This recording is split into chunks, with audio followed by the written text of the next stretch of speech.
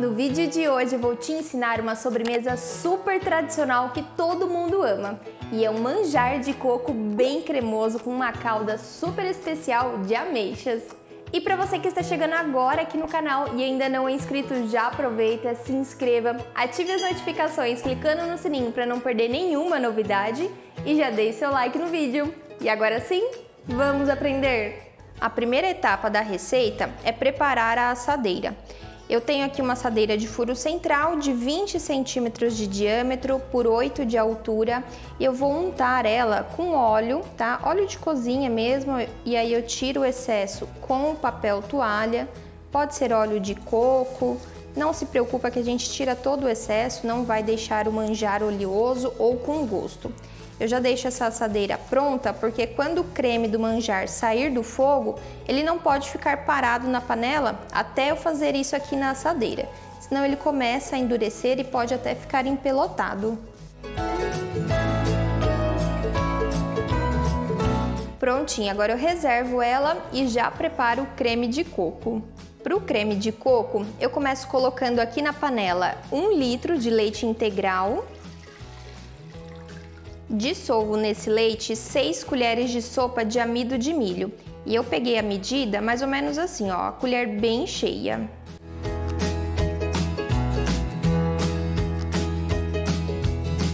Misturo bem para ele dissolver e não formar gruminhos depois no creme. Não precisa se assustar caso você nunca tenha feito manjar com essa quantidade de amido, tá? É uma quantidade um pouco grande mesmo para que o manjar fique estruturado na hora de desenformar e ele não rachar, não quebrar. O importante é cozinhar o creme no tempo certo para não ficar com o gosto do amido cru e não tem nenhum substituto para ele. Precisa usar o amido de milho e um de boa qualidade. Coloco também uma lata de leite condensado uma caixinha de creme de leite, uma garrafinha de leite de coco e um pacote de coco seco. Eu tô usando em flocos, que é esse daqui um pouco com os fiapos maiores, né? Mas pode ser o ralado também, que ele é menorzinho. Misturo tudo e aí eu cozinho esse creme de coco aqui no fogo médio até ele começar a engrossar.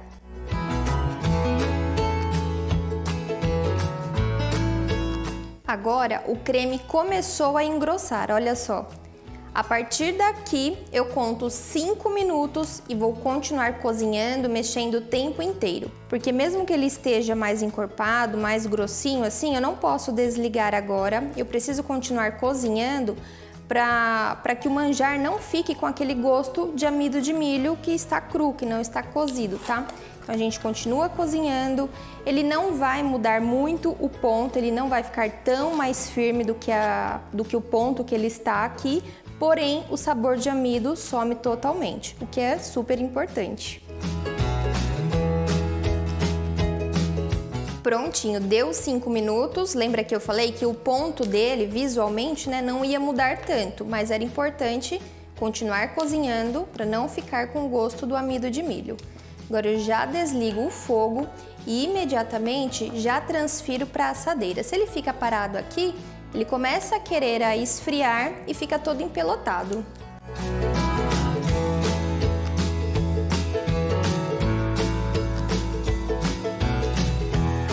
Dou uma espalhada assim com a espátula e eu dou uma batida também na assadeira aqui na bancada para ele se endireitar também pelos fundinhos para não ficar aqueles espaços com ar. Agora eu cubro com um plástico sempre em contato para não formar uma película, né, uma casquinha muito grossa. Não cobre com o plástico filme para não juntar vapor de água, sempre grudadinho, tá? Como ele está muito quente, eu vou deixar ele aqui em temperatura ambiente para ele dar uma amornada. Aí sim eu coloco na geladeira para que ele fique bem gelado e estruturado para virar ele no prato, por mais ou menos 6 horas. Enquanto o manjar esfria, eu já preparo a calda de caramelo. Aqui eu tenho uma xícara de chá de açúcar refinado, eu vou colocar também nesse caramelo duas colheres de sopa de açúcar mascavo. É opcional, tá? É só para dar um sabor mais gostoso, um saborzinho diferente para o caramelo. Como o açúcar mascavo é mais escuro, então naturalmente o caramelo também vai ficar mais escuro, tá? Mas não é queimado, é só mesmo pela coloração dele. Se você quiser, por exemplo, colocar metade do açúcar né, nessa uma xícara de chá, metade do açúcar branco e a outra metade do açúcar mascavo, pode também, viu? Assim como também, se quiser somente com açúcar branco, sem problemas. Agora eu deixo ele aqui derretendo. Quando ele derreter totalmente, eu coloco a água.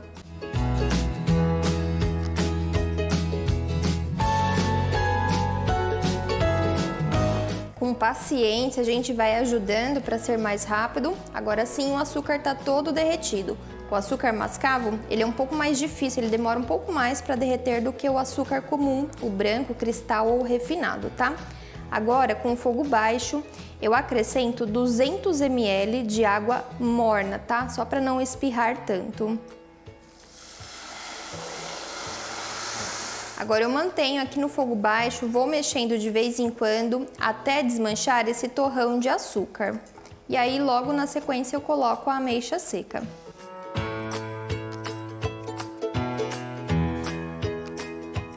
Ainda tem um pedacinho de açúcar que não dissolveu, mas eu já aproveito e coloco a ameixa. Eu vou usar 150 gramas de ameixa seca sem caroço, que assim ela vai fervendo, vai cozinhando aqui nessa calda de açúcar.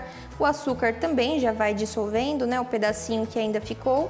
E aí eu deixo ela aqui até a calda ficar um pouco mais encorpada e a ameixa também ficar mais macia. A minha calda já está engrossando, está mais encorpada e levando em conta que depois que ela esfriar né, na geladeira, ela fica ainda mais grossinha, eu percebi aqui que a ameixa ainda não acompanhou, ela está mais seca, mais durinha. Então para essa calda não correr o risco de queimar e a ameixa ficar dura, eu vou colocar só mais um pouquinho de água para dar o tempo da calda ficar um pouco mais fluida e a ameixa cozinhar. Esse pouquinho de água a mais nem sempre vai precisar, vai depender muito da ameixa. Tem algumas que a gente compra, elas estão bem macias, suculentas, já outras mais secas.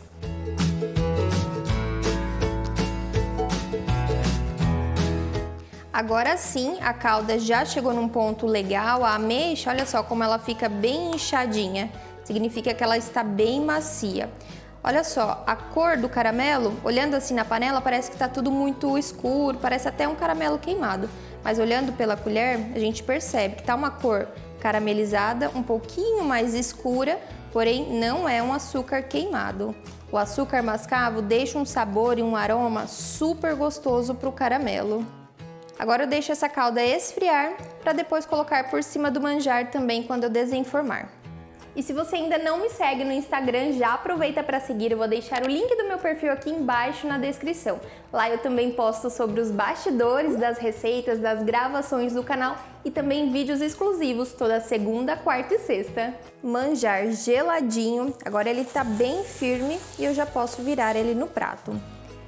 Para que ele solte mais fácil aqui da lateral do alumínio, eu passo uma faquinha ou uma espátula Dou até uma puxadinha aqui, a gente percebe que ele solta fácil, mas precisa entrar um pouco de ar aqui nesse espaço para ele soltar melhor.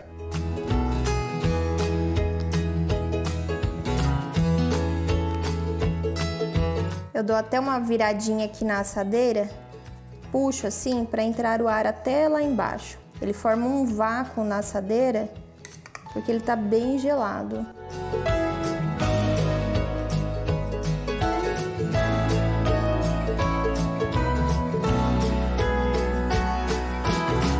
E agora é só colocar a calda com as ameixas.